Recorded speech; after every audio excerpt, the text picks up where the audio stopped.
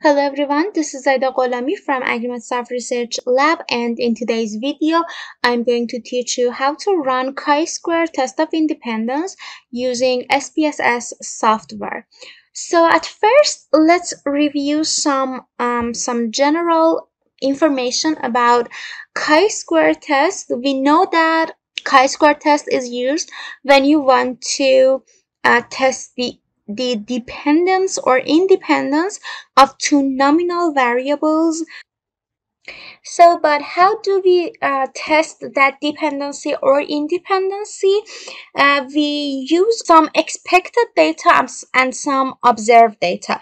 So we say that, so what are those expected um, data?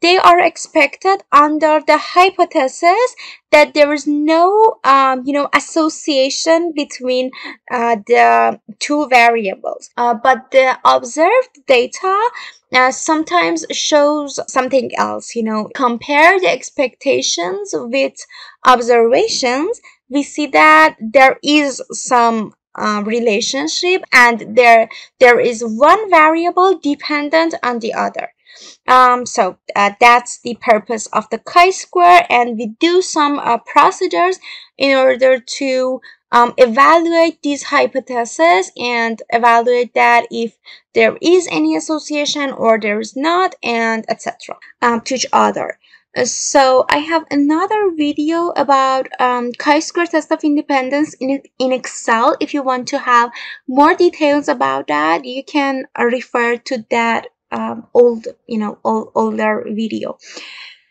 So in here, let's say we have two variables, two nominal variables. One of them is gender and the other one is, you know, being promising on the time or not. So I've named it as being late. Um, now I want to um, explain um, this setting your variables and setting your data in here. So I have the variable names and then the type should be string. So if you put it on the default variable type, which is numeric, if I put it on that, you can see, that, okay, I do not want to try it. So because my data uh, maybe is um, deleted, but in here, if I make another variable and put the type on numeric, then I go to data view and if I want to input some, you know, um, nominal data, you can see it, it gives an error, okay? So I should put it on string. Then it will be okay, okay? So I just delete this variable and um, continue. So in here, I do not want labels. I do not want values also. Um, you know, I've put it on a string, so I do not want values and then the measure should be on nominal both of them okay? So then I go to data view and all I have to do is to copy and paste my um, data from Excel or anywhere else into here. So now we have gender female male and then we have um, put them in two groups. One of them is to be late uh, and the other one is to be on time. So let's say we want to check um, a ridiculous statement that if um, gender has an effect on being late or not. So that's what we want to test in here. Then what you, you do is to go to analyze and descriptive statistics and in here you go for crosstabs. So then let's get them back. So then for rows, I um, choose gender to go and for columns, I choose being late to go in here. And then you click on statistics. In statistics, you should check chi-square in here and since I do not want results for effect size, I do not check any of them. But if you if if you do, you could uh, go for them. So in here, I just want to um, run the test of chi-square for.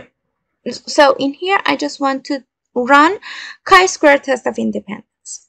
I click continue and I click OK. So in here you can see some uh, summarized general data about general information about your data. And then in gender and being late cross um, tabulation, you can see females, there were, for females, you know, you can see for female group, you had 17 um, females which were late and 21 females which were on time. So the total number of females in here was 38 and for male group you had 13 male which were late and 19 male which were on time uh, which makes a total of 32 males and then you have the total um, row also if you check my excel video i have manually you know um, drew this table in there. So you have um, totally 30 people which were late and 40 people which were on time. And your total data set um, contains uh, 70 people. And then I go for chi-square test. So this is the the main um, table which we have to uh, we have to look for we have to look at. Um, so you can see um, this is the significance for two-sided which is 0.72 so you can see this um, significance for two-sided test which is 0.72 so we know that if p-value is low in this test, you can accept the alternative hypothesis which says that uh, being late is dependent on the gender. But in here, this is not the case. So this is not um, lower than alpha level, which is 5%. Uh, you can see that this is um, much bigger than 5%. So in here, you cannot reject the null hypothesis. You should accept the null hypothesis, which says that uh, gender and being late or not are independent from each other. So that's it.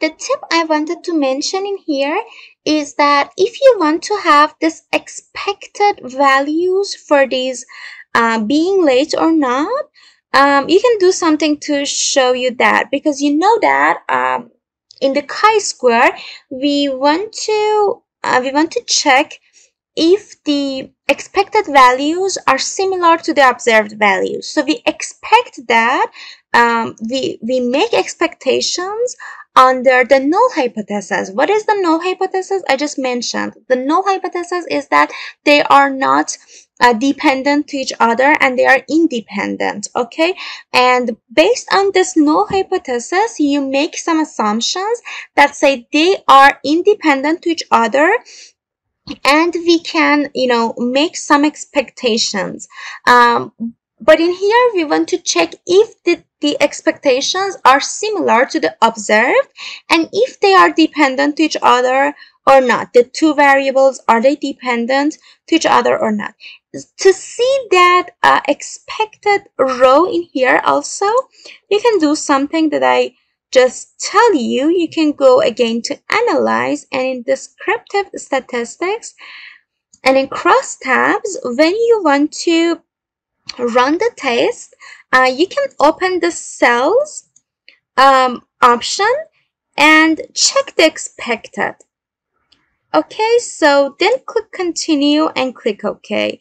Now you can see that you have some expected count um, which says what do we what do we expect if there was not any association between gender and being late okay and now that there is no association actually we we found that actually there is no any association so that was what i wanted to mention in here uh, at the end of the video. And that's it for today's video. I hope you learned something new. Please don't forget to give this video a thumbs up and subscribe to our channel. We have a lot of videos about um, different tests, different statistical tests in SPSS and in Excel. And if you're interested, we will be happy to provide you these tutorials and informations. I will see you next videos and bye.